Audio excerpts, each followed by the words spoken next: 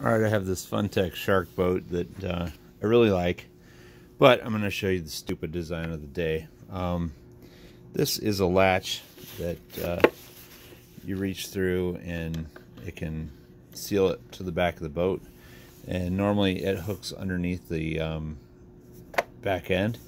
However, if you turn it to the right side of the boat to open it, it will come in contact with your servo horn and literally snap it off. So now I have a broken servo horn and um, this is not going to steer a broken servo horn. So got to take the whole thing out. Hopefully you have another one that I can just put on it and replace it with, but uh, it is a dumb design. It shouldn't even be allowed to. From the factory, they, if they'd have put a little peg on that, to prevent it from moving in the direction of the servo horn, it would have been really nice. Because it works just the same the other way.